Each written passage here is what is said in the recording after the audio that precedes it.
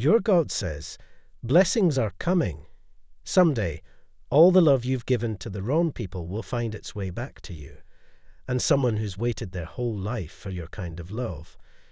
Something is coming into your life that will completely change everything in a very positive way. Good news is coming your way. It will be a sign for you that, despite everything that's happened recently, you are now on the right path. Your real soulmate will befriend you, understand you, appreciate you, love you, heal with you, grow with you, and evolve with you. Very soon, you will be promoted to a massively good place for you. You will experience so much happiness that everyone around you will be filled with joy and faith. Be receptive, be ready. God gave you that dream for a purpose. Your existence has purpose, and you are in this place for a reason. You weren't brought this far by God only to bring you to this point. You are always one decision away from living a completely different life. God is telling you not to worry because He has already paved the way for you. Dear friends, if you're lying in bed feeling lost, bewildered, and shattered, and wondering whether things will ever get better, know that God is in charge, and right now He is preparing a way for you. He wants you to understand that for every tear you shed, and every night you have trouble sleeping, He has a blessing for you.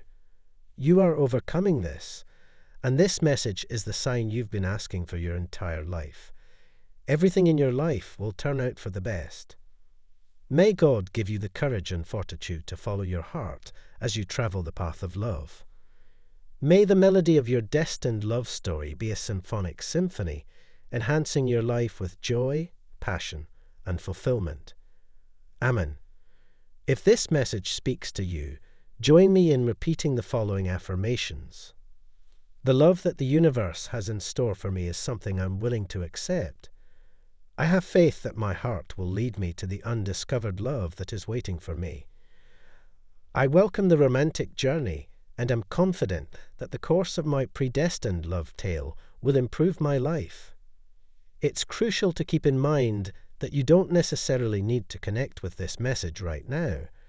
Take it as a sign from the cosmos that this event might occur soon.